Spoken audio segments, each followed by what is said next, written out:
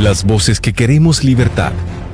Nos unimos para romper el cerco de la censura, para continuar informando la verdad, con profesionalismo y responsabilidad. Desde las redes, nuestras voces se elevan en pos de la libertad. Síganos en las redes y en nuestra página web como Voces en Libertad.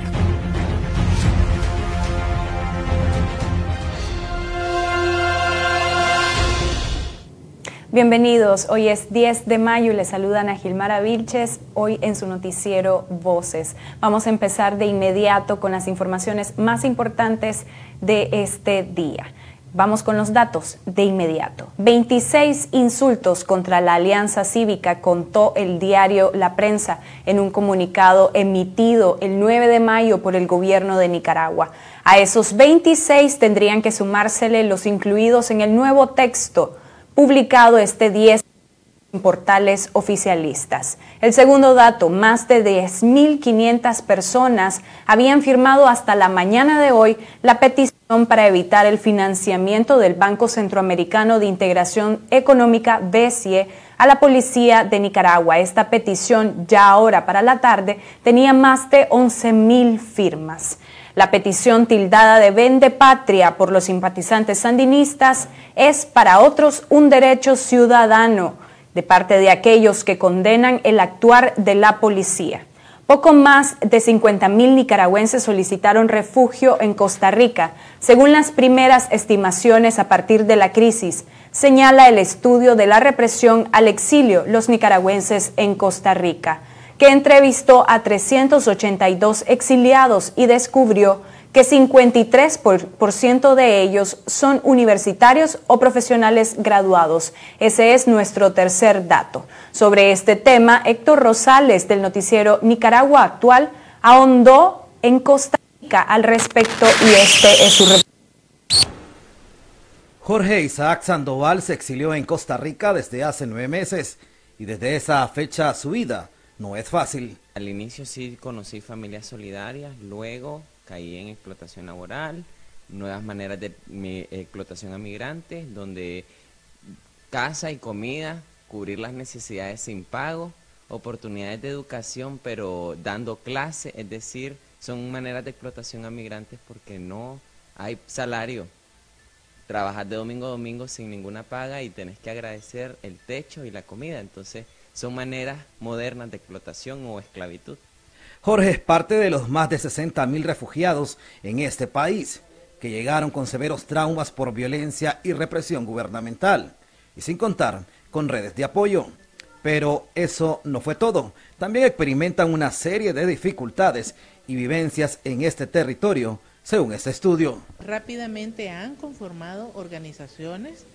Eh, estas organizaciones eh, son tanto de carácter territorial como sectorial y eh, eh, son importantes porque primero dan un sentido de pertenencia, de cohesión, de identidad, pero también sirven para asuntos muy prácticos como por ejemplo gestionar asistencia humanitaria que es urgente, es necesaria para este, los exiliados nicaragüenses. Otro de los hallazgos importantes es que, a diferencia de otras corrientes migratorias de nicaragüenses a Costa Rica, este grupo no tiene intenciones de permanecer en el país. Y es que 8 de cada 10 nicaragüenses exiliados quieren regresar después de la salida del dictador. Es los muchachos que están aquí, porque hay un 60 y pico por ciento de jóvenes, los muchachos que están aquí no vinieron porque se quieren quedar, no son migrantes económicos y esto lo evidencia. Eh, el, es un, la idea nuestra es que esta, esta información sirva para que el gobierno de Costa Rica y las instituciones definan políticas públicas para ver cómo se apoya el proceso de los migrantes nicaragüenses. Pero ese regreso por ahora no cuenta con garantías. Según el estudio, un 29.9% esperan vivir en democracia, un 28% con justicia y un 14% libre de represión y libre de paramilitares. La idea del regreso sí, pero un regreso seguro, donde mi vida no corra riesgo, donde no tenga una persecución, donde mi familia no sea perseguida, donde al regresar pueda tener herramientas para poder trabajar sobre el duelo, sobre el odio, el rencor y no estar con el ojo por ojo, sino buscar cómo las personas entiendan de que la situación vivida, qué afectaciones nos ha llevado emocional y psicológicamente y poder reconstruirnos y transformarnos en personas para adelante con otras oportunidades. Vamos a un dato extra en este y es que familiares de aproximadamente 42 presos políticos han denunciado ante la CPDH las condiciones infrahumanas en las que se encuentran los presos. Cito el tuit del abogado Julio Montenegro, que dice, actualmente existe una desesperación en las galerías 300, Infernillo y la 301, en la que incluso algunos de los prisioneros han optado por acostarse en el suelo desnudos para contrarrestar el calor. Sobre este tema se pronunció Verónica Chávez, esposa de Miguel Mora, el video de Radio Darío, cortesía del periodista David Quintana de Boletín Ecológico. Darío Noticias. Deben liberar a los presos y esto urge porque antes de que ahí ocurra una tragedia, realmente, por ejemplo, en lo que corresponde a máxima seguridad, donde hay personas muy enfermas, hay hipertensos, gente que padece de la presión y pues realmente escuchábamos los casos en conferencia que es urgente realmente que los liberen o que sean asistidos mientras se da la libertad de un médico. Obviamente, si nosotros que estamos afuera no soportamos los calores, ahora imagínense personas ahí en las cárceles eh, general y más aún los que están en máxima seguridad. Hablamos de máxima porque recordemos cuánto miden esas cárceles. Cárceles donde no tienen ventilación, no hay ventanas, no corre el aire están aislados, están sofocados, son como una tumba, es como una cueva, es como los están prácticamente asando en ese lugar. Entonces yo creo que son cárceles ya demasiado inhumanas, ellos están privados de su libertad, no de sus derechos humanos. El ser humano no puede perder sus derechos como, como ser viviente, por lo tanto nosotros estamos exigiendo que se mejoren esas condiciones mientras se da su libertad, sino pues que los liberen de una vez por todas.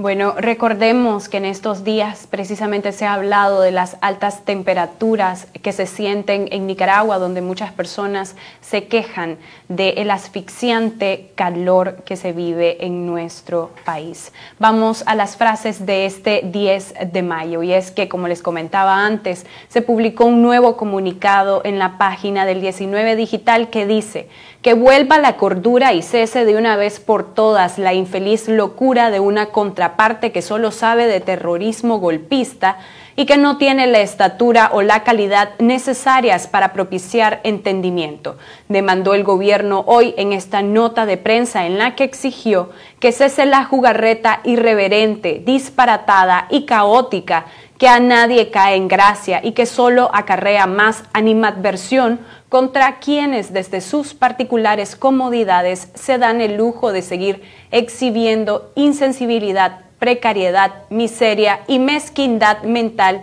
y espiritual. Esto es para los miembros de la Alianza Cívica.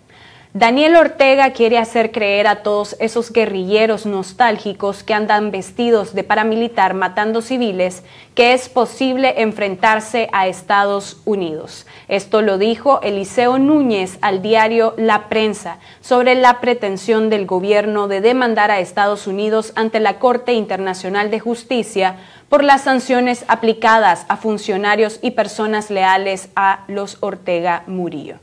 En Nicaragua, donde hemos visto un desafío directo a quienes no están de acuerdo con el partido gobernante y utilizan una de las cosas que los totalitarios de todo el mundo han perfeccionado, es el uso de negociaciones para ganar tiempo y agotar a la oposición, aseguró el senador Marco Rubio, refiriéndose a la mesa de diálogo en nuestro país. Recordemos que este senador ha sido una las figuras detrás de las sanciones impuestas por Estados Unidos a la familia y a las personas de confianza de Daniel Ortega. Vamos a hacer una breve pausa y ya volvemos.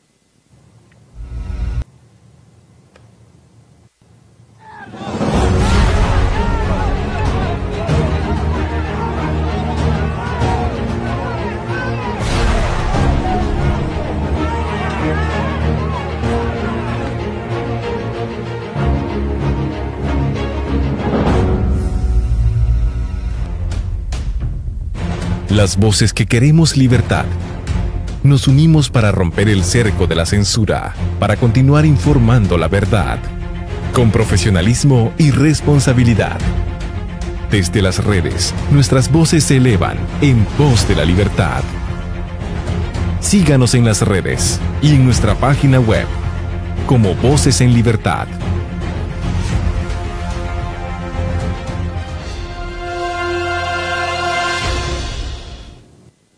Ya estamos de regreso y la pregunta del millón, ¿por qué Daniel Ortega insiste en que se frenen las sanciones internacionales impuestas a sus allegados? Nicaragua investiga, te dice por qué.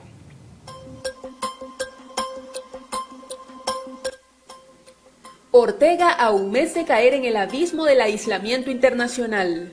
¿Por qué Ortega se encuentra desesperado desde hace una semana por lograr levantar las sanciones internacionales? La respuesta es que Ortega no solo quiere revertir las sanciones que ya recibieron cinco de sus funcionarios, dos de sus familiares y su banco privado, también quiere evitar las que se avecinan, que están muy cerca. Daniel Ortega tiene una fecha límite por parte de Estados Unidos, el próximo 20 de junio. Si Ortega no hace cambios para enrumbar al país hacia la democracia, respetando las libertades ciudadanas, liberando a los presos políticos y adelantando las elecciones, más de sus funcionarios podrán ser sancionados y Ortega tiene mucho temor de ello porque las personas sancionadas se quedan sin posibilidad de operar o de realizar transacciones bancarias o legales. Es por esa razón que Roberto Rivas y Francisco López tuvieron que renunciar a sus cargos luego de ser afectados por la NICA Act. Y es que esta dura ley aprobada por Estados Unidos el pasado 20 de diciembre de 2018 daba 180 días al Comité del Congreso norteamericano para presentar un informe detallado de funcionarios nicaragüenses que participaron en la grave violación de derechos humanos contra la población, así como en actos de corrupción y lavado de dinero. Ese informe estará listo este 20 de junio. Ortega sabe que esa lista puede contener nombres de funcionarios clave para el funcionamiento de su aparato de control y enriquecimiento ilícito o nombres de sus testaferros. Incluso él mismo podría estar en esa lista. Es por esa razón que ha empezado toda una jornada para poder detenerlas antes de que se anuncien. En junio también vence el plazo para que Ortega libere a todos los presos políticos tal y como lo había acordado con la Alianza Cívica. Si no cumple con esto, no solo Estados Unidos activará sus sanciones, la Unión Europea también ha amenazado con sancionar fuertemente a Daniel Ortega.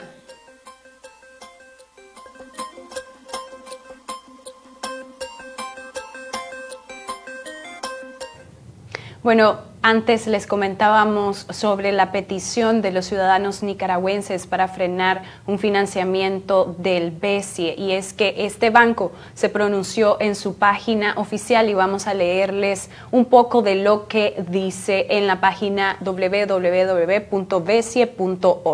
y dice ante los comentarios recibidos acerca de los financiamientos del BESIE en la República de Nicaragua, manifiesta lo siguiente.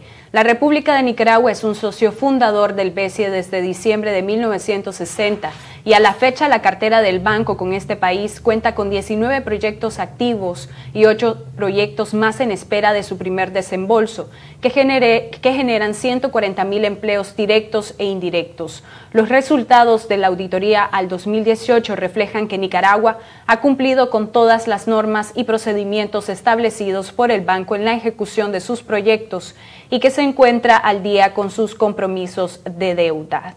Además, dice que el BESIE es un órgano colegiado e integrado por los representantes de los países socios, quienes aprueban todas las operaciones de crédito, las que reflejan los acuerdos entre sus Estados miembros con el compromiso de apoyar a sus ciudadanos mientras se respeten y se cumplan todos los criterios técnicos, legales, evaluación de riesgo y seguimiento aplicados en todas sus operaciones. El BCE reitera su firme voluntad de continuar contribuyendo a estrechar los lazos de cooperación con sus, con sus países miembros, así como su compromiso con el proceso de integración regional y apelamos por una solución pacífica en el marco del diálogo en la sociedad nicaragüense en apego a los derechos humanos con el apoyo de otras agencias especializadas en esta materia.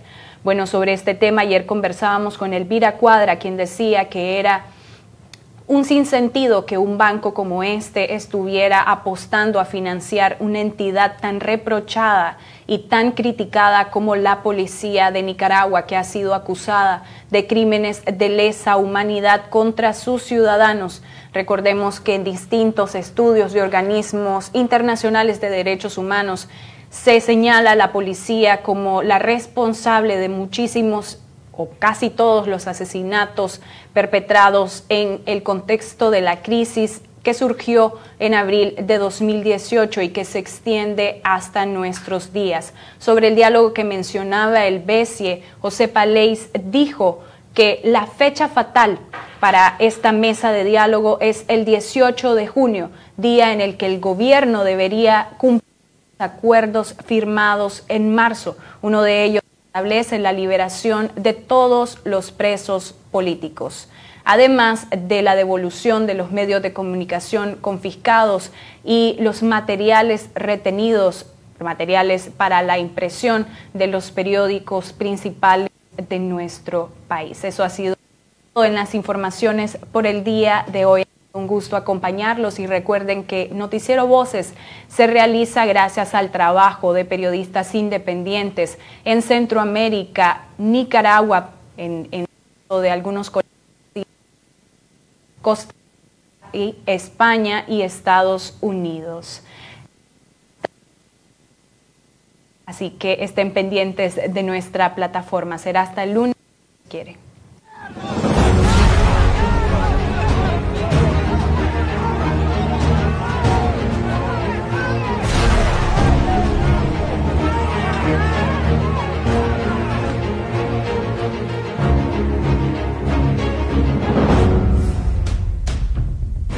Las voces que queremos libertad. Nos unimos para romper el cerco de la censura, para continuar informando la verdad, con profesionalismo y responsabilidad. Desde las redes, nuestras voces se elevan en voz de la libertad. Síganos en las redes y en nuestra página web como Voces en Libertad.